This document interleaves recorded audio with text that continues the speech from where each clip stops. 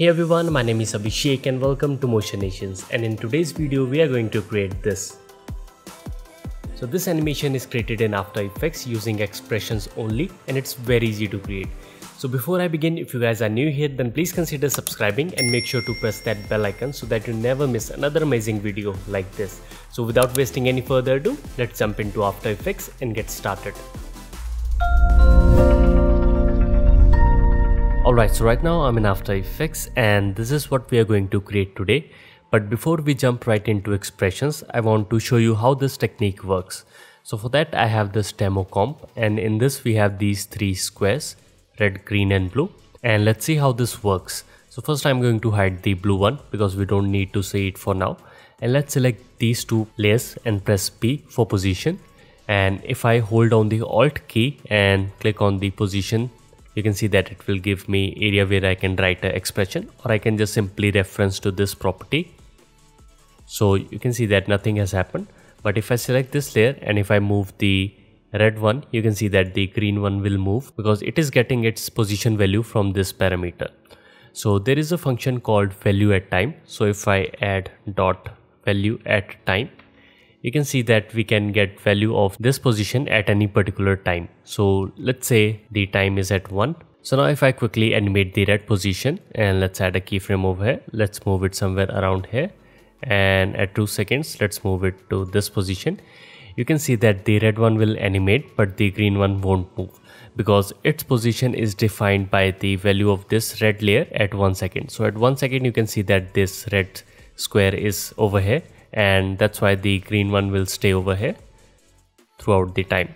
So what if we change this to some variable? So let's say time. And now you can see that it is doing the same thing. Basically it's following the value of this red layer at every time interval.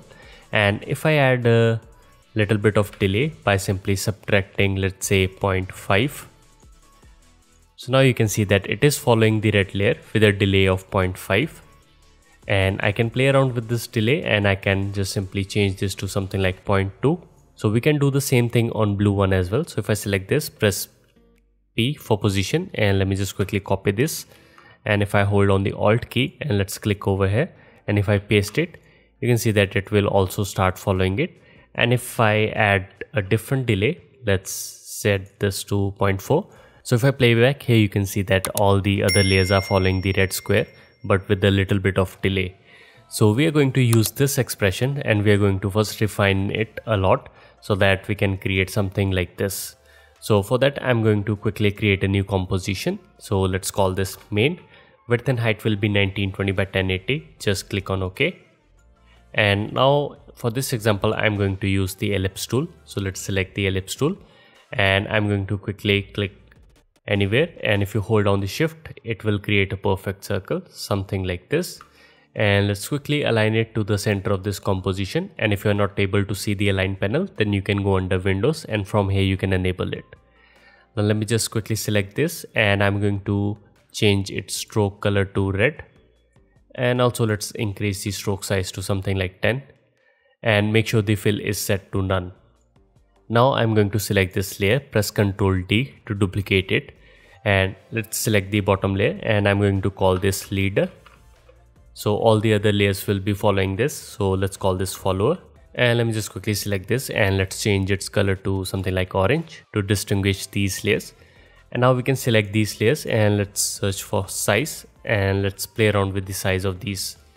So let's set the size of the leader to 150 and the follower we are going to make it obviously a little bit bigger. So let's set this to 300 and also I'm going to change its stroke to something like 3 and let's change its color to white. So now you can see we have these two circles. And we are going to add bunch of different copies like in this example. But we don't want to like duplicate it then just simply scale this up something like this manually. For that we are going to use expression so let me just quickly again select this and let's search for size. And we are going to get this value using the expression. So if I hold on the alt key or option key for on mac and click on this we can add expression over here. And first i'm going to pick whip this size just like this. And if i click anywhere you can see that it will get the size value from this So if I increase or decrease it, you can see that this value will change according to it. Now we want the followers to be little bit bigger than the leader. So we can add some value to this. So let's set this to 150. And since this is an array of two values and we want to add array over here as well. So let's add s and over here let's define the array. So s comma s and if I and you will notice that it will give us an error. So let's fix this error and the easy fix for this is you can see that we are referencing this size value. So we don't need the array over here. We are just going to reference the first value. So I'm going to just add the index 0 for it. And now you can see that we have the circle. And there is one small problem. If I select this and press ctrl D you can see that all the layers have the same scale because we are just adding 150 to the scale of this leader value but instead what we are going to do is we are going to get the scale value from the layer which is below it. So for that I am going to type index plus 1 so now what this will do is it will select for example we have this layer it will get the value of the scale from the layer which is below it so it will add 150 to this. So over here we have 150 this is 300 and if I select this press ctrl D you can see that all the layers will have the scale which is slightly bigger than the layer which is below. So this is how we are going to create bunch of different copies. But for now let's focus on this one single layer.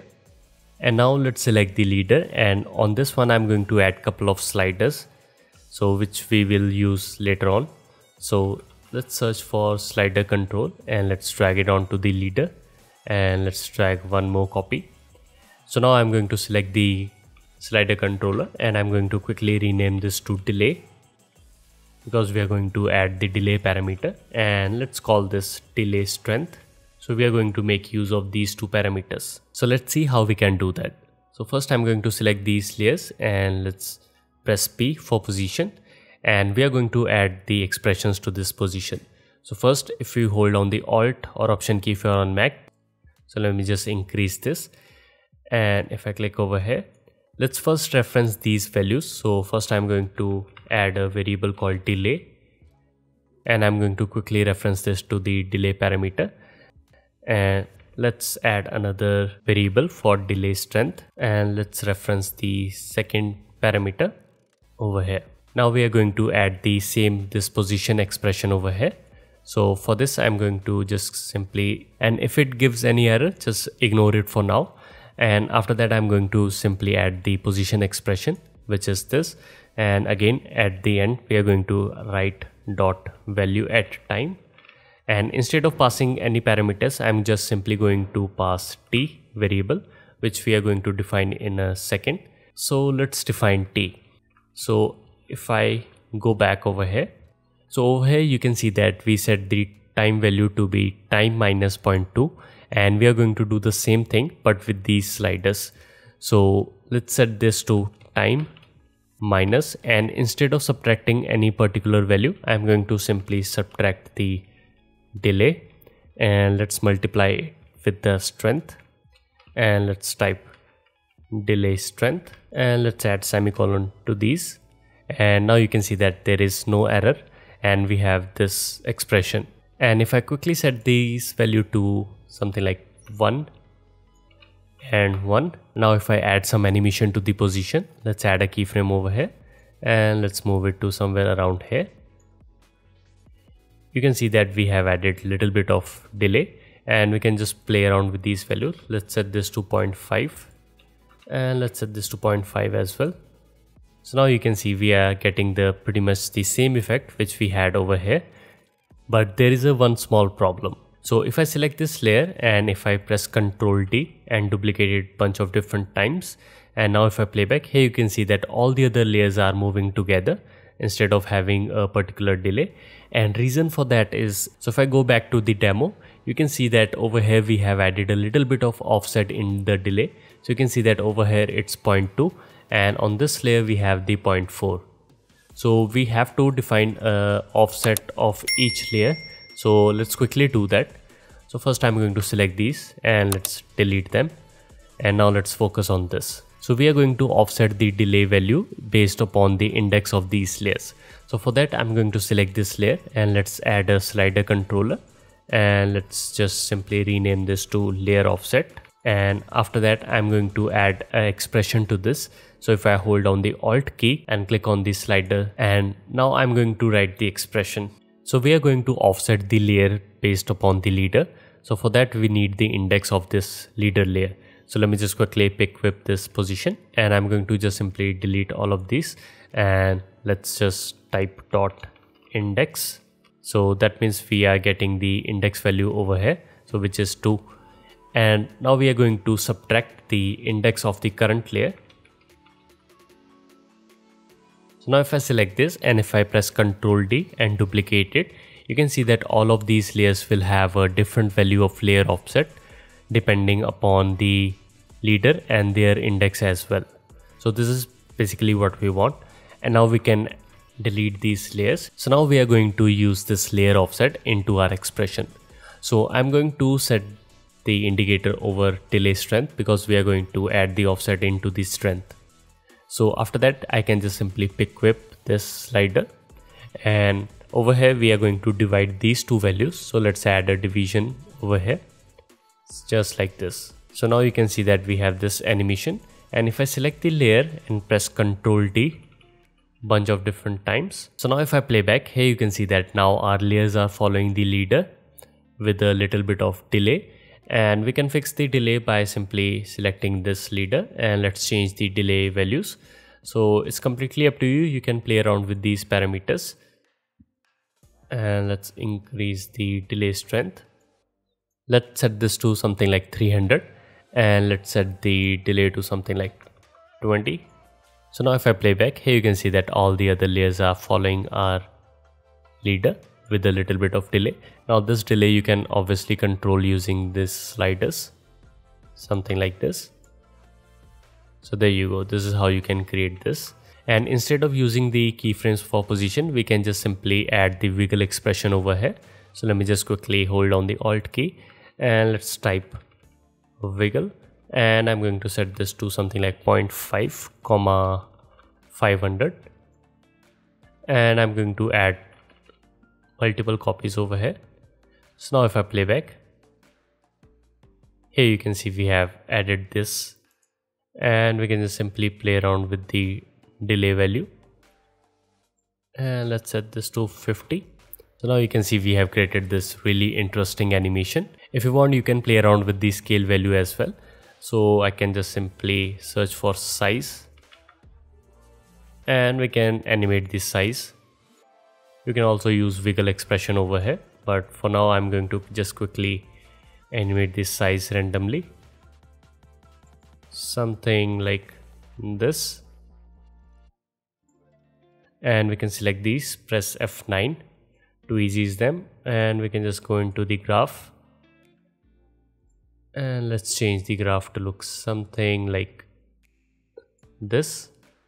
So now if I play back you can see we have added some really nice scale animation to this. Now if you want to get this look then what you can do is just simply create a new composition. Let's call this camera. And let's drag our main comp over here.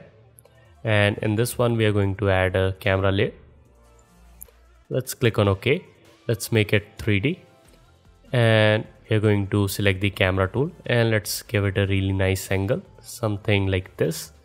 And you will notice that the edges are being cut off. So we can fix that by simply enabling the collapse transformation by clicking over here. And now we have to go inside the comp and let's select all of these layers and let's turn them to 3d as well. So now if i go back to the camera so here you can see we have the really nice 3d look and there's one more thing that you can do. If you want you can just select the layer and press camera layer and press AA and let's enable the depth of field. And you can increase the aperture. So if I play back here you can see that we have added a really nice depth of field effect to this. And if you want more copies then you can just simply go inside the main comp. And you can just simply keep on duplicating this and it will add more copies to the example. So there you go. This is how you can create these kind of animations and if you want you can play around with the these sliders and you can get different looks however you want. Just like this. So I hope you learned something from this video and if you have any queries or questions then you can ask in the comments below and if you want to support my channel then you can check out my patreon page. Link for that is in the description as well. So with that being said my name is Abhishek and I'll see you in the next one.